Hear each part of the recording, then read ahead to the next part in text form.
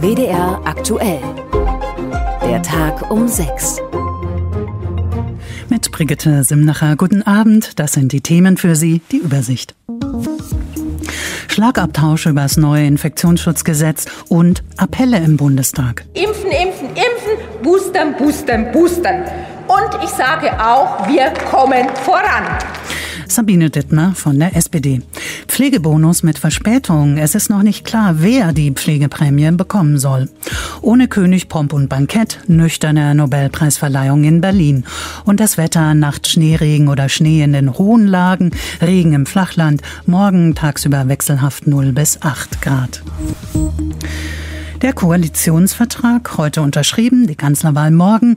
Die Ampelparteien starten mit großen Herausforderungen in ihre gemeinsame Regierungsarbeit. Beispiel Bundestag heute Nachmittag, schärfere Beschränkungen im Kampf gegen die Corona-Pandemie. Vera Wolfskämpf zum geplanten Infektionsschutzgesetz. Um eine Impfpflicht für alle geht es noch nicht. Aber wer in Heimen, Krankenhäusern, Arztpraxen, bei Rettungsdiensten oder als Hebamme arbeitet, soll sich in den nächsten drei Monaten gegen Corona impfen lassen.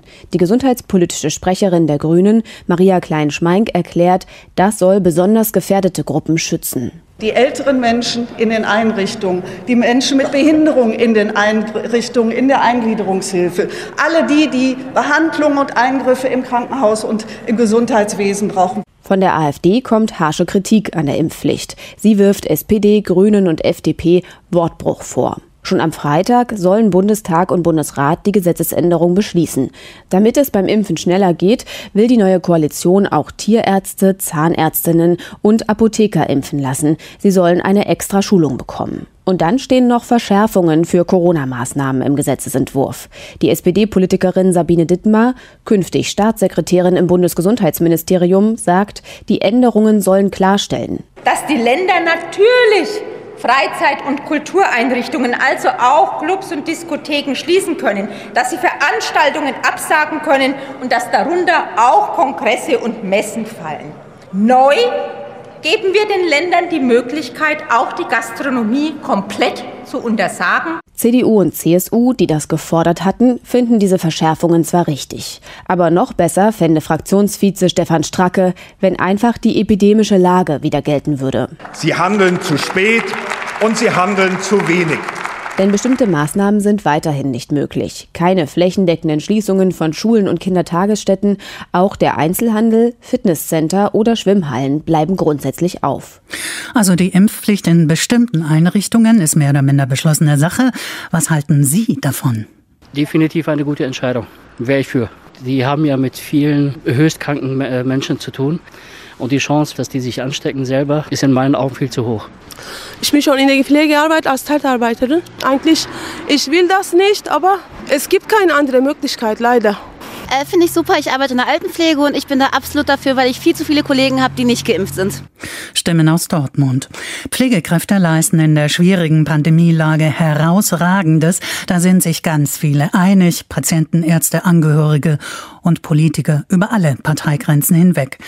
Die neue Ampelkoalition will deshalb eine Milliarde ausgeben als Wertschätzung für die herausragende Leistungen der Pflegerinnen und Pfleger auf Intensivstationen und in Seniorenheimen. Steht sogar so im Koalitionsvertrag. Der Pflegebonus sollte im Januar kommen. Daraus wird nichts. Marcel Heberlein im Hauptstadtstudio. Wo ist das Problem? Ja, es geht letztlich um die Frage, wer soll den Pflegebonus bekommen. Da fehlen verlässliche Daten, sagt Frau Westig, die Gesundheitsexpertin von der FDP, weil einfach entschieden werden muss, welche Intensivpflegekräfte und andere Beschäftigte, vor allem auch in Krankenhäusern, haben denn wirklich unter der besonderen Corona-Anforderung am meisten leiden müssen. Welche Menschen sollen wirklich diesen Bonus bekommen und wo hört man auf? Da ist man eben noch auf einer sehr unsicheren Datengrundlage, sagen jetzt die Gesundheitsexperten von der Ampelkoalition. Da soll es bessere Zahlen geben durch die Deutsche Krankenhausgesellschaft und andere, die sollen jetzt diese Zahlen liefern und bevor man die nicht hat, will man nicht entscheiden. Wie soll es denn jetzt praktisch laufen, damit die berechtigten Pflegekräfte an ihr Geld kommen? Also letztlich soll das Gesetz Anfang 2022, so ist der Wortlaut, kommen und dann dauert es natürlich noch ein Stück, bis das Ganze ausgezahlt wird, hoffentlich im ersten Quartal, das ist zumindest die Ansage der FDP. Ja, und im Gespräch sind so bis zu 3000 Euro pro Person. Insgesamt hat man eine Milliarde Milliarde dafür zur Verfügung gestellt oder will man dafür zur Verfügung stellen. Aber hängt natürlich auch davon ab, wer am Ende berechtigt ist, das zu bekommen. Und der Deutsche Pflegerat zum Beispiel, der ist sehr skeptisch, ob das eine gute Idee ist mit diesem Bonus. Lieber dauerhaft und stetig den Pflegekräften mehr Geld bezahlen. Das wäre die Idee des Deutschen Pflegerats. Und die 3000 Euro pro Kopf, die kommen so eins zu eins aufs Konto? Letztlich muss es ausgezahlt werden durch die Arbeitgeber und Arbeitgeberinnen. Und die haben natürlich jetzt auch in diesem ersten Schritt durch zum Beispiel die Deutsche Krankenhausgesellschaft schon mal ein bisschen mitzureden, an wen soll das Geld am Ende gehen. Das sind ja die Expertinnen und Experten, die auch einschätzen können im besten Fall, wer wurde besonders belastet durch die Corona-Pandemie, die ja immer noch ähm, die Intensivstationen sehr stark belastet und wer nicht. Aus Berlin Marcel Heberlein für WDR aktuell. Die Feiermeilen in Köln und Düsseldorf können am Wochenende lebensgefährlich werden. Da sind zum Teil aggressive Leute drunter, die bewaffnet Krawall suchen. Ein Waffenverbot soll das ändern. Die Kurznachrichten mit Christina Maria Grefe. Ab dem 21. Dezember soll es an den Wochenenden in der Düsseldorfer Altstadt, auf den Kölner Ringen und auf der Zülpicher Straße Kontrollen geben. Laut Innenminister Reul darf die Polizei dann auch ohne konkreten Anlass überprüfen, ob jemand Pistolen, Elektroschocker oder gefährliche Messer dabei hat. Das kann bis zu 10.000 Euro Strafe kosten. Hintergrund sind mehrere tödliche Angriffe in den letzten Monaten. Das Düsseldorfer Oberlandesgericht hat einen Piloten aus Kleve als Terroristen der islamistischen Al-Nusra-Front zu mehr als drei Jahren Haft verurteilt. Tatsächlich muss der Mann aber nur noch sieben Monate der Strafe verbüßen, weil ihm Haftzeiten im Senegal und in Deutschland angerechnet werden. Das kleine Elektroauto Ego hat Mängel. Das Aachener Unternehmen ruft deswegen 750 Fahrzeuge zurück in die Werkstatt. Aufgefallen seien die Mängel bei routinemäßigen Qualitätsüberprüfungen, so eine Sprecherin. Unfälle mit Dritten oder verletzte Personen habe es bisher nicht gegeben. Betroffen sind insgesamt 750 Kleinstwagen der Marke Ego. Die Vollsperrung auf der A45 bei Hagen wird sich weiter hinziehen. Experten untersuchen mit zeitaufwendigen Verfahren die betroffene Brücke in Höhe Lüdenscheid. Auf den Ausweichstrecken kommt es vor allem im Berufsverkehr zu langen Staus. Eine Taskforce der umliegenden Städte, der Autobahn GmbH und von Straßen NRW soll jetzt Wege finden, die Verkehrssituation zu entspannen. Soweit die Kurznachrichten. Die glitzernden, glänzenden, funkelnden Roben müssen 2021 zu Hause in den Schränken hängen bleiben.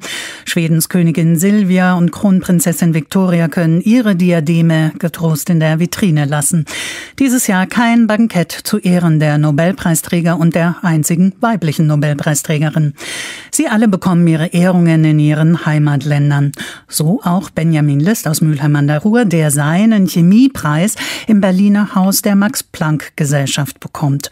Kleiner Trost, er war schon mal da in Stockholm mit seiner Tante Christiane Nüsslein-Fullhardt.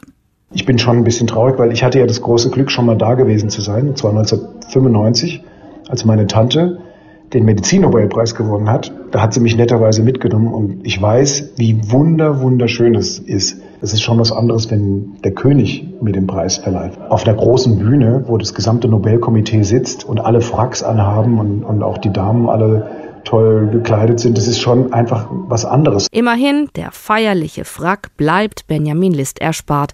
Ein schicker Anzug und eine Krawatte, die er sonst auch so gut wie nie trage, reichen heute Abend aus.